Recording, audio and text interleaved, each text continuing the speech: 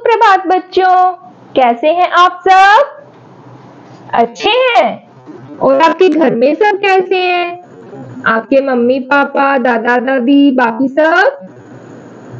सब अच्छे हैं? बहुत ही बढ़िया। तो अब मुझे बताइए कि आप सबके घर में कौन कौन है? बताइए एक एक करके। ओके, पापा, दादी दादा, चाची, चाचा, ओके, मम्मा। तो आपकी मम्मा आपके लिए क्या क्या करती हैं? आज मुझे एक एक कार्य सब बताएँगे। अच्छा आपको घुमाकर लेकर आती हैं। अरे वाह! आपको स्कूल छोड़कर जाती हैं, स्कूल से लेकर जाती हैं।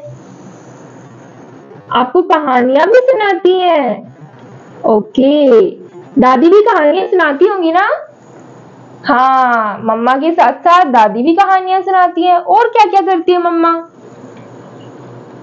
मम्मा आपके लिए खाना बनाती है, शाबाश। और आपके साथ खेल भी खेलती है। हम्म तो क्या आपने माँ के बारे में कोई कविता सुनी है? तो आज हम माँ के बारे में एक बड़ी प्यारी सी कविता का आनंद लेंगे। किसके बारे में? माँ के बारे में। तो तैयार हैं आप सब? चलिए शुरू करते हैं। माँ, तुम कितनी भोली भाली, कितनी प्यारी प्यारी हो। कितनी प्यारी प्यारी हो। दिल से सच्ची मिसरी जैसी। दिल से सच्ची मिसरी जैसी सारे जग से न्यारी हो।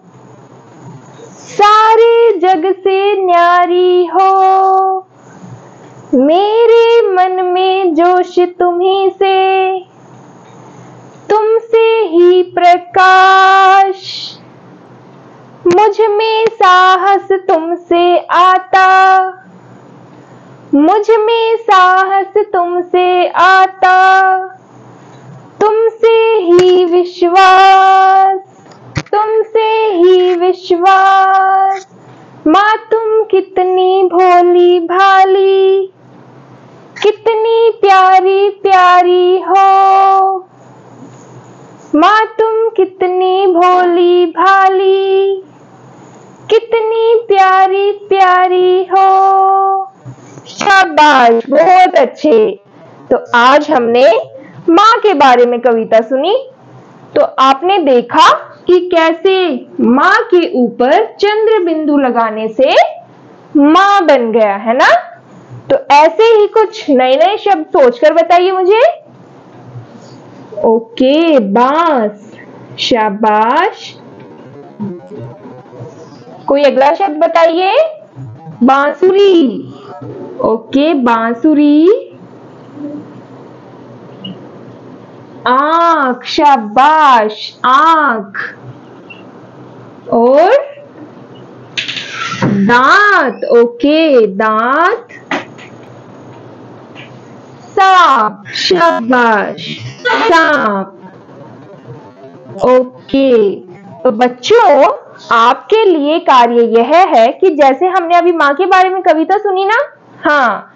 तो अब आपको घर से अपने पापा के बारे में दो या चार पंक्तियाँ सोच कर आनी है और अपनी कक्षा में अपनी मैम को और अपने सारे दोस्तों को सुनानी है। शाबाश। धन्यवाद।